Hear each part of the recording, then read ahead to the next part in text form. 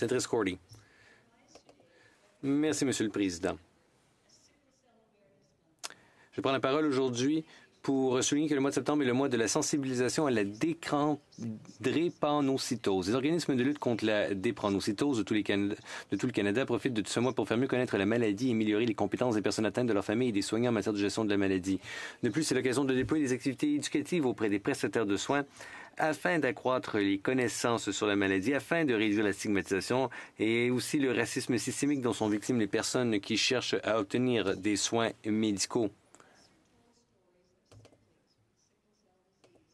Quel est le thème de cette année?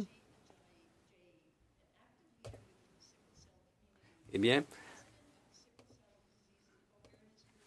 C'est les histoires moins racontées des frères et sœurs atteints de dépranocytose. Lanretunji Ayaji, leader actif au sein de la communauté dépranocytaire et président du Sickle Cell Disease Awareness Group Ontario, parle souvent de ses expériences en tant qu'aîné d'une famille de huit enfants et ayant deux frères et sœurs atteints de dépranocytose. Lanre continue de soutenir les personnes atteintes de dépranocytose ici au Canada et dans le monde entier.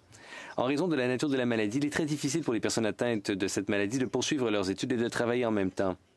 C'est la raison pour laquelle le Sickle Cell Awareness Group of Ontario a créé la bourse d'études Sunday Afolabi et la bourse d'études Cholape Amishausen pour les Canadiens atteints de drépanocytose afin de les inspirer et afin de les aider aussi à poursuivre leurs études supérieures.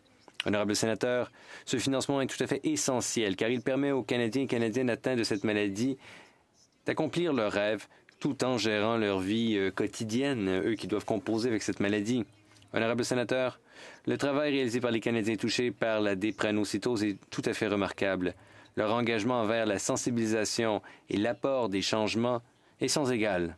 J'ai eu la chance de rencontrer plusieurs d'entre eux et ils ont été si ouverts, si honnêtes lorsqu'ils m'ont fait part de leurs histoires. Bien que l'accent soit mis sur le mois de septembre et sur la journée nationale de sensibilisation à la dépranocytose du 19 juin, il importe euh, de garder ces Canadiens et Canadiennes au premier plan tout au long de l'année. Il ne faut pas les oublier.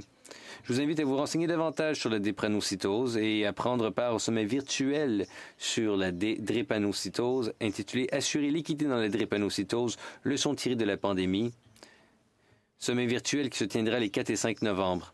Les personnes vivant avec cette maladie ainsi que leurs familles et leurs soignants ont bien hâte de partager leur histoire avec vous. Merci beaucoup.